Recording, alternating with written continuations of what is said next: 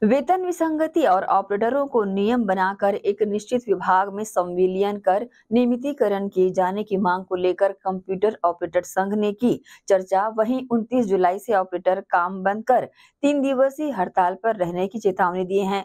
बीते कई वर्षों से छत्तीसगढ़ समर्थन मूल्य धान खरीदी कंप्यूटर ऑपरेटर संघ के लोगों द्वारा जायज़ मांगों को लेकर शासन प्रशासन से गुहार लगाते हुए इसकी मांग की जा रही है। बावजूद इसके, न तो समय में इन्हें वेतन मिल पाता है और न ही एक निश्चित विभाग में रख नियमितीकरण से वंचित किया जा रहा है। इसी कड़ी में रविवार को दुर्ग के पचरी पारा स्थित यादव भवन में धान खरीदी कंप्यूटर ऑपरेटर संघ के पदाधिकारियों और कार्यकर्ताओं ने अपनी अहम बैठक बुलाकर मांगे नहीं जाने पर 29 जुलाई सोमवार से अनिश्चितकालीन हड़ताल पर बैठकर काम बंद, कलम बंद करने का आह्वान किया हम लोग क्या है सत्रह वर्षों की जो मेहनत है उसको हम लोग अ, शासन बिज़ी है।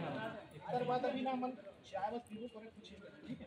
सत्रह साल तो हो गए लोमस भाई ऑपरेटर के काम हैं। हाँ। हाँ गौरतलब है कि छत्तीसगढ़ समर्थन मूल्य धान खरीदी कंप्यूटर ऑपरेटर संघ ने बताया कि सात माह से ऑपरेटरों को वेतन नहीं मिल रहा है इसे लेकर ऑपरेटरों ने नाराज़गी जताई है। ऑपरेटरों ने कहा, हड़ताल के बाद भी मांग पूरी नहीं हुई तो अनिश्चितकालीन हड़ताल पर चले जाएँगे। इस दौरान संघ के लोग सोमवार से रायपुर में धरना प्रदर्शन कर अपनी आवाज़ सरकार तक पहुंचाएँगे। आपको बता दें, संघ के द्वारा तीन दिवसीय धरना प्रदर्शन व मांग पूरी नहीं होने पर अनिश्चितकालीन आंदोलन का भी आह्वान किया गया है। गौरतलब है कि अपनी दो सूत्री मांग को लेकर अब कंप्यूटर ऑपरेटर संघ ने मोर्चा खोल लिया है, जिसमें उन्होंने संविदा 27 प्रतिशत वेतन वृद्धि कर तेईस हज़ार तीन सौ पचास रुपये वेतनमान दिया जाए एवं बोनस भत्ता भविष्य निधि लागू किया जाए। साथ ही पिछले खरीफ वर्ष 2023-24 का सात माह का वेतन तत्काल जारी किए जाने की मांग की तथा ऑपरेटरों को मासिक नियमित रूप से वेतन भी भुगतान किए जाने की मांग की।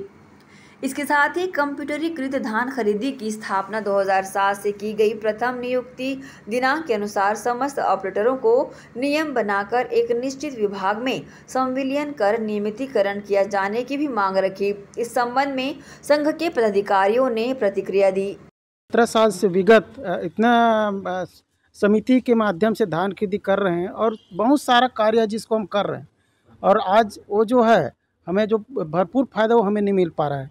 जिसके कारण हमें बहुत तकलीफों का सामना करना पड़ रहा है। एक्चुअल में हमारा विभाग तय नहीं हुआ है। हम लोग वहाँ पदस्थ जो हैं विगत सत्रह सालों से कर रहे हैं, लेकिन हम लोग का विभाग अभी तक तय नहीं हुआ है। और वेतन जो भी है छः महीने या साल भर में आता है, हमारे अकाउंट में आना चाहिए, वो भी नहीं आ पा रहा है। इसके कारण दिक्कतों का सामना करना पड़ रहा है। सर दुर्ग जी में अगर हम लोग की संख्या बोला जाए तो एटी सेवन है। और, सर, अभी हम लोग के हड़ताल में जाने से सोसाइटी का जो मेन रीढ़ की हड्डी है वो कंप्यूटर ऑपरेटर है। इससे बहुत सारा काम प्रभाव हो गया जैसे कि किसान अभी नगद है, नगद ले नहीं पाएगा क्योंकि नगद का संयोजन हम ही लोग करते हैं। आपका पेश कंप्यूटराइजेशन चल रहा है, जिसके लिए उत्कृष्ट के लिए उत्कृष्ट पुरस्कार मिला है छत्तीसगढ़ में दुर्ग ज़िले को, वो काम पूरी तरीके से ध्वस्त हो जाएगा। आपका अभी मुख्य काम चल रहा है प्रधानमंत्री फ़सल बीमा योजना। वो पूरी तरीके से ढप हो जाएगा क्योंकि वो काम का भी संचालन हम ही लोग के द्वारा किया जाता है। मतलब शासन की जितने भी योजनाएँ हैं, पूरा कार्यभार वो धान खरीदी ऑपरेटर ही करता है।